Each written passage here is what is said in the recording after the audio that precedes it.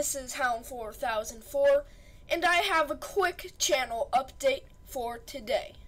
So, as you know, Screencast-O-Matic has done a lot of videos for me. I have made a bunch of videos using it, like the last hundred, I believe, which is actually quite amazing.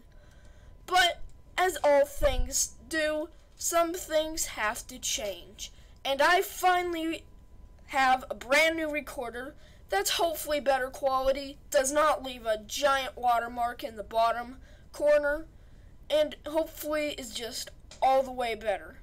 So tell me what you guys think. I've used it on my last two videos. It's what I'm using to record this video. I just hope it's an all-around better recorder. And that's all I have to say. Good. Bye.